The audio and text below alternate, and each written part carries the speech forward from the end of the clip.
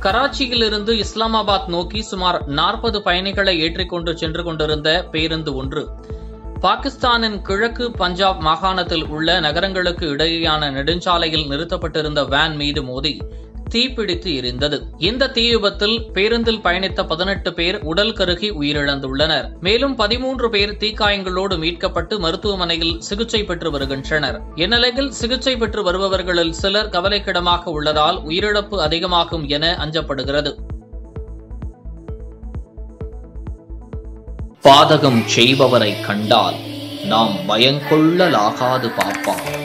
மோதி மிதித்து விடு பாப்பா. அவர் முகத்தில் உமிழ்ந்து விடு பாப்பா. அண்மை செய்திகளை உடனுக்குடன் தெரிந்து கொள்ள இணைந்திருங்கள் இயம்நாடு தொலைக்காட்சியுடன்.